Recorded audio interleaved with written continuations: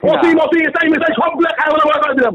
একেবারে খবর খারাপ শুরু করে দিলাম। এটা আওয়ামী লীগের না জামাত বিএনপি শেখ রেজওয়ান আপনি কি মিন্টু ভাই?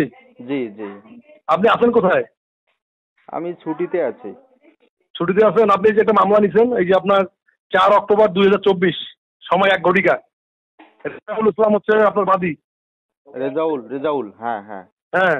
হ্যাঁ। এই এই মামলা কীভাবে আপনি এন্ট্রি করছেন? কি জন্য মামলাটা এন্ট্রি করছেন বলেন তো?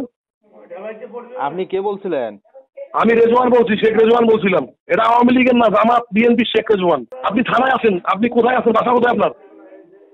মানে কোন জায়গায় আপনার বাসা কোথায়? শোনেন আপনার বাসা কোথায়? বাসা কোথায়? কোথায়? সমস্যা কোথায়? মানে কি সমস্যা? বলেন তো একটু খুলে বলেন তো। আপনি এই যে ভুয়া মামলা একটা গরিব মানুষ যার থেকে তারা দিনের পর দিন হয়রানি করাচ্ছে এই মামলা আপনার এই সরকারের আমলে কীভাবে আপনি আপনি এস্টাবলিশ করেন আপনি? না এটা এটা যে ভুয়া বলতে কি ভুয়া? ঘটনা কি মিথ্যা ঘটনা?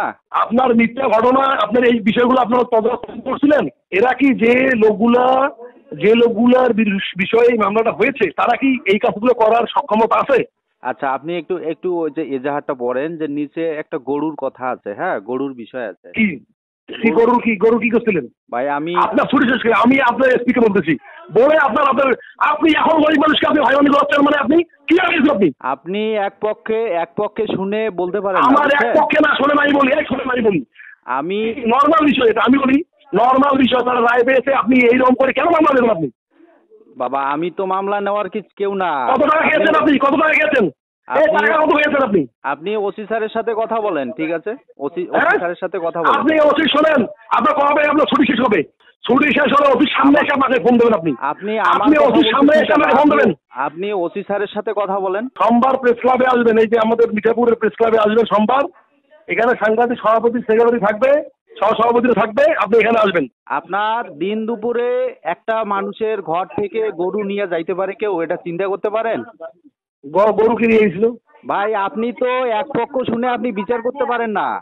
আপনাকে তো দুই গরু কিনে আমি বলি গরু কিনে গিয়েছিল দিনে দুপুরে একজনের বাড়ি থেকে জোর করে গরু নিয়ে যাচ্ছে। এটা কি দেশ? এভাবে দেশ চলতে পারে? দেশে কি আইন কানুন নাই? ওরা কি মনে করে নিজেকে?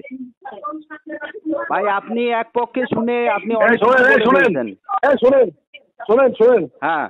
আপনি আপনি সোমবারে আসবেন। সোমবারে আমি কেন যাব? আমি কেন ওখানে কেন যাব? আপনি থানায় আসবেন?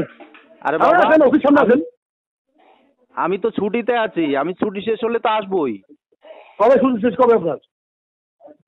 আপনি তো আপনি এক পক্ষ শুনে এত উত্তেজিত আমি বলি? শোনেন আমি শোনেন। আপনার ছুটি শেষ কবে? আপনার এক পক্ষ না এটা তো আপনার একটা সাধারণ নাটক এটা আপনাদের। সাধারণ? আপনি আপনি এখন শোনেন এই সরকারের আমলে যদি একটা সাধারণ করেন এই সরকারের আমলে কোনো ধরনের সাধারণ ওয়ার্ক করলে একেবারে খবর খারাপ করে দিলাম। আমি তো আপনার কথা বুঝতেছি না। অতি মতি এটাই মেসাই সবগুলো খারাপ করে দিলাম।